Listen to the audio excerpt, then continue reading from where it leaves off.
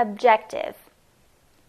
This video is designed to teach you about scale rulers that measure length in feet and inches. It is worth noting that there are a variety of scale rulers. For example, there are metric, engineer, and architectural scale rulers with different scales marked. These skills are necessary in order to read and draw blueprints and scale drawings. In part 1 of this video, you will learn how to read a scale ruler. Part 2 will focus on learning how to measure scaled lengths, which builds up to Part 3 of drawing scaled lines. Materials. For this video, all you will need is a customary architecture scale ruler, triangle, and a drafting pencil or micron pen. I want to start this tutorial by first explaining why scale rulers are important. In order to accurately represent large areas or items onto a piece of paper, we need a fixed ratio of length, or different scales. Scale drawings will then list the scale used in order to read it. Part 1 Before we can use this tool, we first have to be able to read a scale ruler. This ruler uses 11 different scales. Notice that most sides have two scales, one on the left and one on the right. This orientation is crucial because it will determine the direction you read feet versus inches. Feet are measured using the markings found towards the middle of the ruler, whereas the smaller markings closest to the edges of the ruler measure inches. For scales on the left side of the ruler, such as 3 32nd, feet are on the right side of the zero, closer towards the middle, and inches are on the left side of the zero, closer towards the edge. But for scales on the right side of the ruler, such as 3 16ths, feet are on the left side of the zero, closer to the middle, and inches are on the right side of the zero, closer to the edge. For additional practice of determining which part measures feet versus inches, let's look at some other scales. In this case, feet are on the right of the zero inches are on the left, whereas on this side, feet are on the left and inches are on the right. And again, feet are to the right with inches on the left versus feet on the left and inches on the right. The two scales on each side are related. The smaller scale is half of the larger scale, or another way of thinking about it is that the larger scale is double the smaller scale. The smaller scale marks feet on the top row of numbers using a smaller size label. For the smaller scale only, each line after the zero will represent one foot.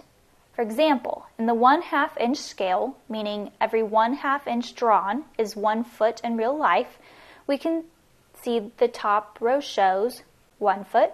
Notice two feet is already labeled, three feet, four feet, and so on. The larger scale marks feet on the bottom row of numbers using a larger size label. For example, in the 1 inch scale, meaning every 1 inch drawn on the page is 1 foot in real life, you have 1 foot, 2 feet, 3 feet, 4 feet, and so on.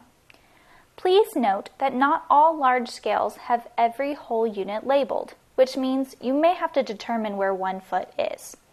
For example, in the 3 16 inch scale, it only has even numbers labeled 2 feet, 4 feet, 6 feet. So 1 foot would be midway or halfway between 0 and 2 feet. In this case, 1 foot is every two lines. So 1 foot, notice 2 feet is already labeled,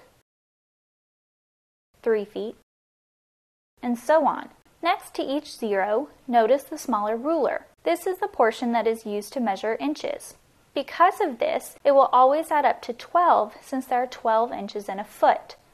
Reading this portion of the scale ruler requires the most thought, so we will look at several examples. For example, in the 3 16 inch scale, there are 12 spaces between the lines, so each line represents 1 inch. Here is 1 inch, 2 inch, 3 inch, and so on. In the 1 8 inch scale, there are less than 12 spaces, this means each line represents more than one inch. Instead, it has six spaces, so each line will represent 2 inches because 6 times 2 is 12. Here's 2 inches, 4 inches, 6 inches, and so on. In the 3 fourths inch scale, it has more than 12 spaces. This means each line represents less than 1 inch. There are 24 spaces between the lines, so each line represents half an inch because 24 times half equals 12. Here is half an inch, 1 inch, 1 and 1 half inch, 2 inches, and so on. In the final example, looking at the 3 inch scale, it has the most spaces. In this case, each long line represents 1 inch. Here's 1 inch, 2 inch, 3 inch, and so on.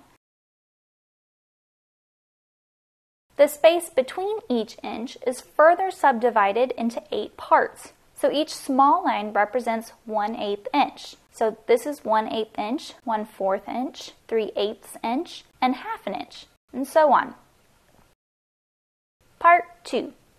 Now that you can read a scale ruler, we are going to start using it to find the measured lengths of lines. We will start measuring these two lines using the 1 4th inch scale on your ruler.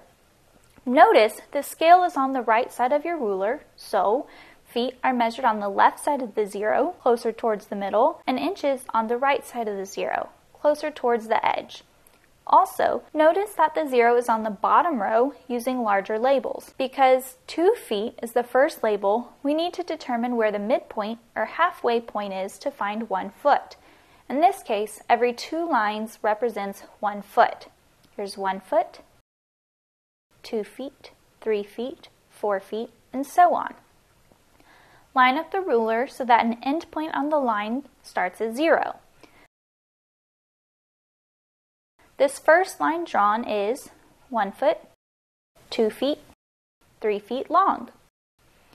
Measuring the second line will require more work. After lining up the beginning of the line with 0, we can count how many feet this line represents. It is 1 foot, 2 feet, 3 feet, 4 feet, but is shorter than 5 feet. This means the measurement will be 4 feet and some inches.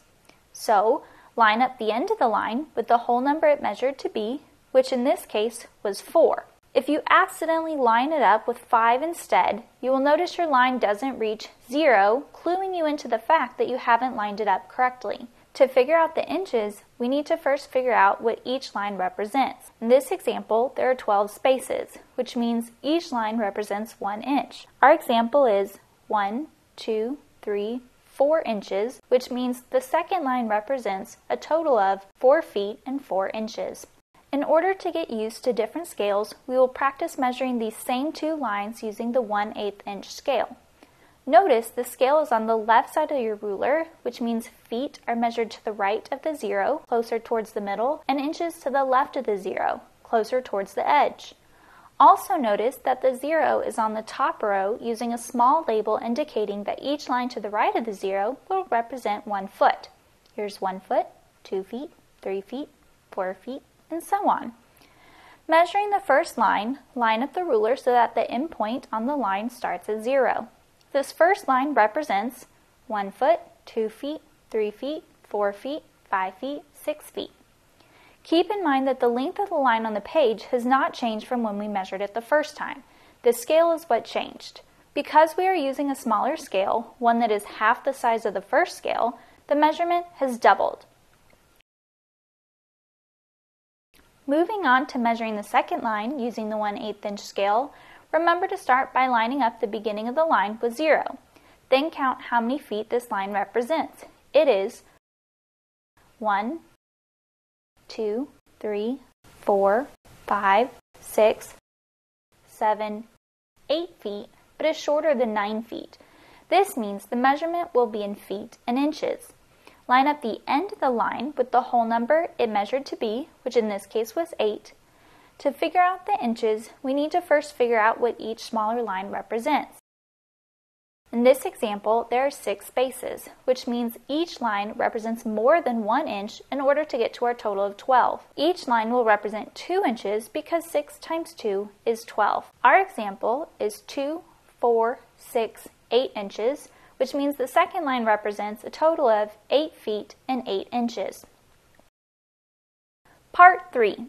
The final skill associated with using a scale ruler is to draw measured lines we are going to draw two different lines using two different scales. For the first line, we are going to use the 3 inch scale. We will draw a line that represents 1 foot 2 inches. Keep in mind that the 3 inch scale is using the bottom row of numbers. Start by finding and marking where 1 foot would be and mark it. For the inches, remember that this adds up to 12. Notice that in this scale, every third inch is already labeled. We first need to determine where 1 inch would be. If you aren't sure, you should be able to continue the spacing in order to get to the next labeled number. And then, mark above 2 inches to finish the point.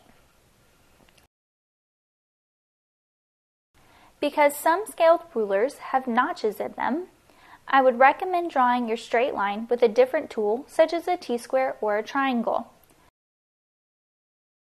Because I'm not sure if my marks are parallel to the top of the page, I'm going to use a triangle to connect my dots.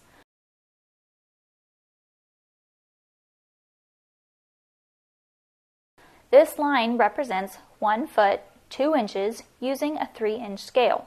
For the second line, we are going to use the 1 and 1 half inch scale we will draw a line that represents one foot and six and a half inches. Keep in mind that the one and half inch scale are using the top row of numbers. Start by finding and marking where one foot would be. Notice the first label in the top row represents two feet. So our one foot mark needs to be the midpoint or halfway point. Because it's smaller than the two scales on this edge of the ruler, you might have remembered that each line after zero represents one foot. For the inches, remember that this adds up to 12. Notice that in this scale, every third inch is labeled. We first need to find where 6 inches would be. In this case, it's labeled. To find 6 1 half, figure out where 7 inches is. It is here. If you aren't sure, you should be able to continue this spacing in order to get to the next labeled number. 7, 8, 9 inches. Now that we've found 7 inches, we would mark the midpoint or halfway point between 6 and 7. Then, use a triangle to finish drawing the line.